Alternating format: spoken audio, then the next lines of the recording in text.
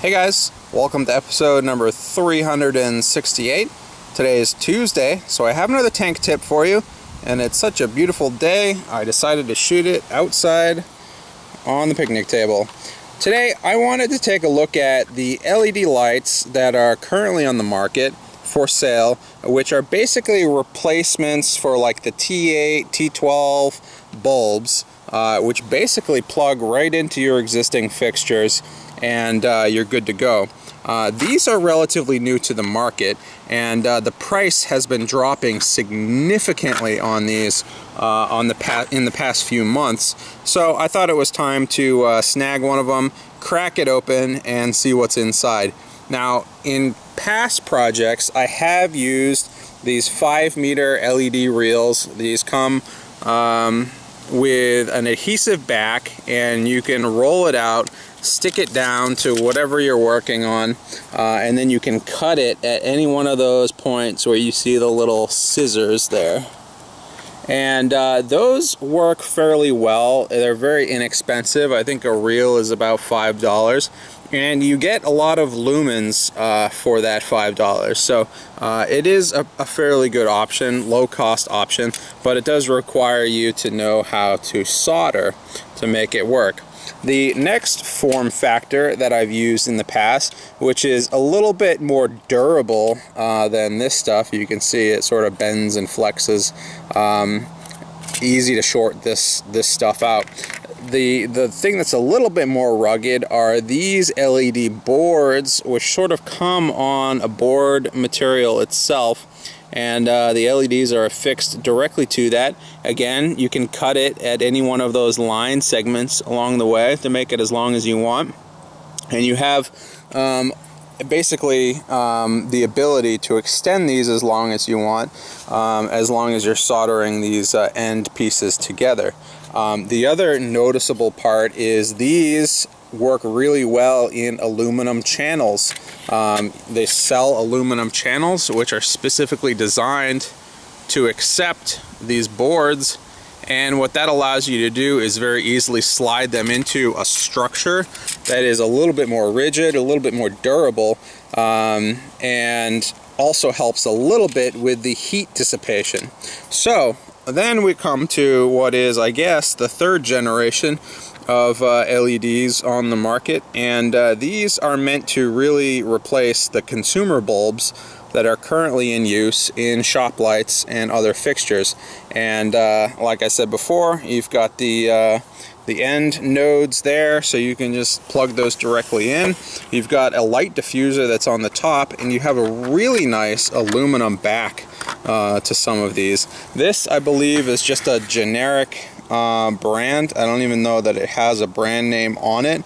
Uh, but these are getting cranked out probably by the, the millions at this point um, because there is such a high demand for a low cost energy um, low energy fixture that can, you know, be used in households, in, you know, consumer shopping areas, whatever else.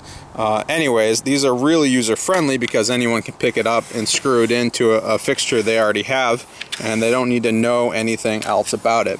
So, um, when I picked this up, I was anticipating to see essentially one strip of this or one strip of this uh, inside. And the reason being is because I did a quick calculation on the, the wattage and the lumens of something like this, and that's essentially what it what it told me, is that there would be one strip of LEDs uh, inside it.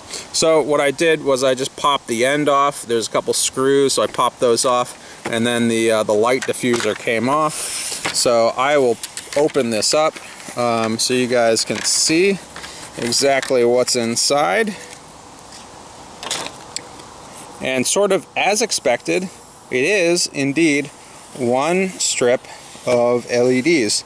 Uh, however, it does look like this strip of LEDs was more or less custom designed for this enclosure, which is something that I was not expecting. I was honestly expecting something like this, which is in basically mass market production already, to be slapped into or retrofitted into uh, a fixture like this. That's really the way that you get the cost of something like this down, is to use components that are already readily available and, uh, and just use those. Uh, so I was pleasantly surprised to see that this actually fits exactly as it should. It looks like it was designed specifically for use in this type of fixture. And even if you look at the ends, you can see that they're well connected. Um, nothing is really going to short out. It looks like there was a little bit of care that was put into soldering all of these terminals together and getting it to work. And if we flip this over and look, that is actually a significant aluminum channel. Um, and again, the reason why you would want aluminum uh, backing to this is because it's going to really help with your heat dissipation.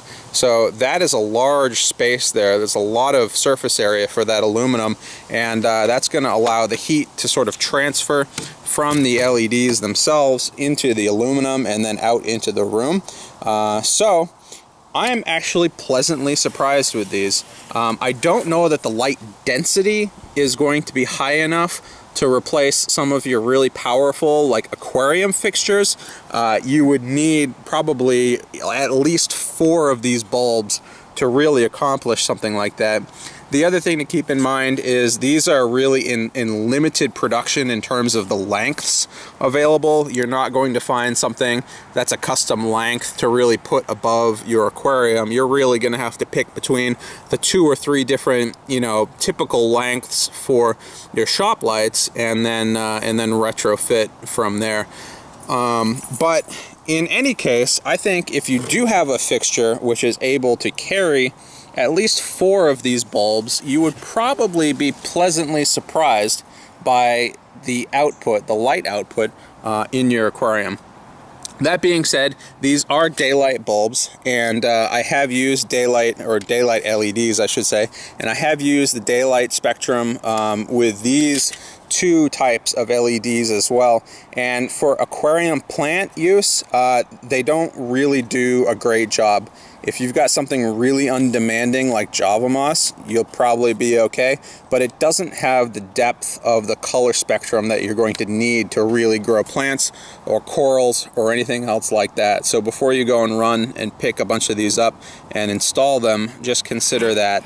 Uh, but if you're running fish only, you can probably get away with two of these above your aquarium.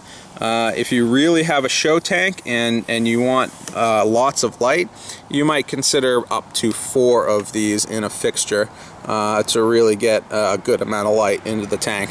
But anyways guys, that's a quick look at the LEDs and uh, I'm actually pleasantly surprised. So I hope you guys enjoyed this little breakdown and the little explanation and I'll see you guys later.